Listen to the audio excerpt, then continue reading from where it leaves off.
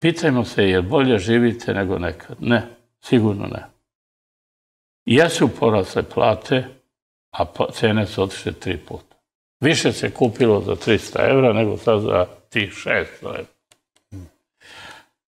I za hiljadu selo je propalo načisto. Ja sam nekad od šive, na primjer, jedne godine, druge, zaradio da sam mogao, na primjer, hladnjaču. A danas ne mogu platiti hemikalije.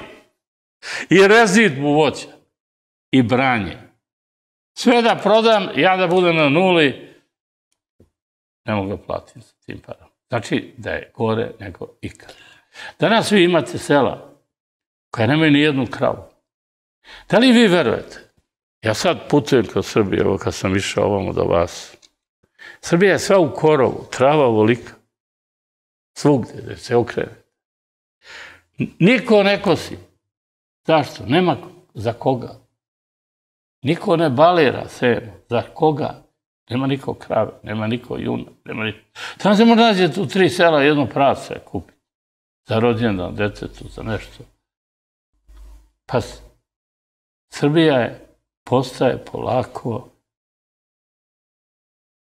zemlja sirotinje, bede i nekoliko izuzetno bogatih porodica koje imaju sve od jahte pa sve redom što treba. Prema tome, da li će to narod ukapirati, vidjeti? Ja nisam za to da se kritikuju oni koji zarade. Oni koji zarade pošteno i rade, svaka čast. Treba ih podržati da još budu bolji, pošteniji, jači. A našto koji rade sa stranim firmama i dobro rade.